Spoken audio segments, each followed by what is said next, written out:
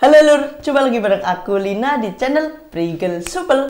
Oke guys, seperti biasa, kalau kalian ingin membuat suatu perubahan, pastinya kalian harus mau mencoba dan berani memulai. Tapi sebelum kita mulai video ini, buat teman-teman yang belum subscribe, langsung aja klik tombol subscribe dan aktifin loncengnya, supaya teman-teman selalu mendapatkan notifikasi setiap kali aku upload video. Oke?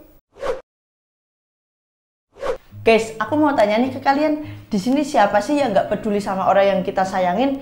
Pasti kalau sama orang yang kita sayangin, kita itu peduli sama mereka.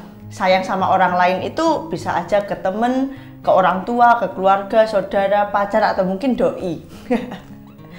peduli sama orang lain itu nggak ada salahnya, fine-fine aja gitu kan. Asalkan jangan sampai karena kita terlalu peduli sama orang lain, kita sampai nggak memperdulikan diri kita sendiri karena kita selalu ingin membahagiakan orang lain sampai kita lupa kalau diri kita itu juga perlu kita bahagiain. Karena kita terlalu perhatian sama orang lain sampai kita itu nggak pengen orang lain kecewa, tapi kita lupa kalau diri kita itu juga perlu kita perhatiin. Kadang-kadang kita sering kan buat ngorbanin diri kita demi kebahagiaan orang lain di sini aku pengen ngomong kamu itu bahagia juga kok. Gak semua itu harus jadi tanggung jawabmu termasuk kebahagiaan orang lain. Jangan pernah berpikir bahwa kebahagiaan orang lain merupakan tanggung jawabmu. Jangan pernah berpikir untuk selalu ingin membahagiakan orang lain karena itu hanya akan mempressure dirimu. Karena dengan itu kamu akan selalu menuntut dirimu agar melakukan apa pun yang penting orang lain bahagia. Jangan paksa dirimu untuk selalu melakukan apa pun supaya orang lain itu bahagia. Karena kebahagiaan mereka bukan tanggung jawabmu. Justru di sini yang seharusnya selalu kalian bahagiakan itu adalah diri kalian sendiri. Masa kalian nggak kasihan sih sama diri kalian sendiri? Ini loh, diri kalian ini loh yang mampu menemani kalian sampai saat ini. Ini diri kalian ini yang mau berjuang sama kamu sampai di titik saat ini. Ini cuma dia ini loh, cuma dia yang gak pernah ninggalin kamu saat kamu sedih, saat kamu terpuruk. Jadi masa kamu gak mau sih sedikit aja perhatian sama diri dirimu sendiri. sedikit aja untuk lebih peduli sama dirimu sendiri.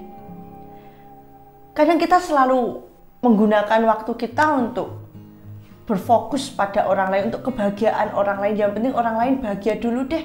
Aku mah gampang, jangan. Orang lain tuh nggak selamanya ada buat kita.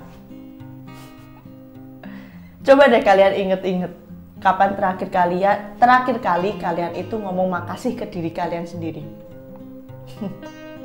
Di sini aku pengen ngajak kalian yuk kita ngomong ke diri kita sendiri. Eh Lina makasih ya. Kamu itu udah bisa bertahan sampai di titik saat ini. Aku bangga sama kamu.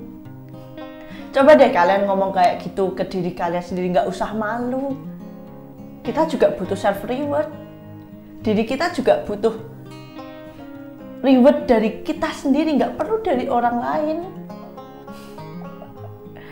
Jadi ya teman-teman kebahagiaan orang lain itu yang menentukan yang menentukan mereka sendiri dan kebahagiaan kita.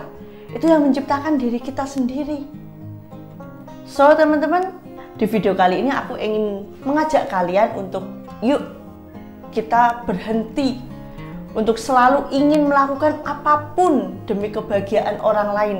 Tapi cobalah untuk kita belajar melakukan apa pun untuk kebahagiaan diri kita sendiri, untuk membahagiakan diri kita sendiri. Oke teman-teman, bisa? Pasti bisa. Yuk kita sama-sama belajar. Nah guys, sampai di sini dulu ya video kita ini untuk kalian yang suka sama video ini Pastinya jangan lupa untuk like, comment, dan share video ini. Dan pastinya buat kalian yang belum subscribe, langsung aja klik tombol subscribe. Oke, kita ketemu di video selanjutnya. Bye-bye.